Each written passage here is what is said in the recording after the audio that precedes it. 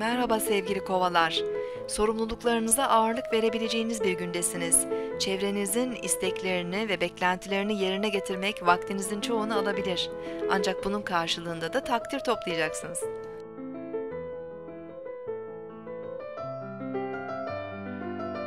Bugün 6 Nisan 2014 Pazar, Güneş günündeyiz.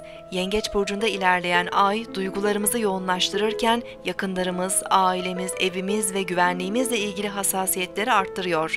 Bugün evde daha fazla zaman geçirebilir, yakınlarımız ve ailemizle ilgilenebiliriz. Öğleden sonraki saatlerde ay Jüpiter'le kavuşup Uranüs ve Plüton'la sert görünümler yapacak. Manevi değerlerimizle ilgili duygusal baskı, huzursuzluk ve stres hissedebiliriz. Güvenlik ihtiyacımız yoğunlaşırken tepkilerimizi kontrol etmemiz de daha zor olabilir.